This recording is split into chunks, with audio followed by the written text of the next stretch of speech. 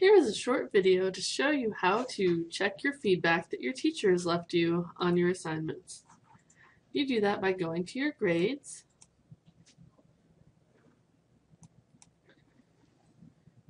and here's the grades page and you'll see that there's all these little symbols next to the grade. You have your actual grade, how many points it was worth, um, comments, and the rubric and you can actually see a lot more than even these things. So if you click on that comment, it's just going to show you the comment that the instructor said. If you click rubrics, it will show the rubric.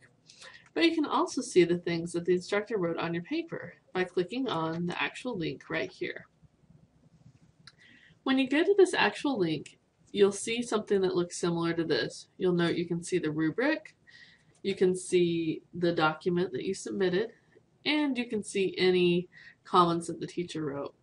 To see what the instructor wrote on the actual paper, click on this little magnifying glass and you'll see that if your instructor put comments, you'll see what they are. And you can see your whole paper that way. So that's a way to see what feedback you have from your instructor and to improve your work based on what they say and the feedback they give.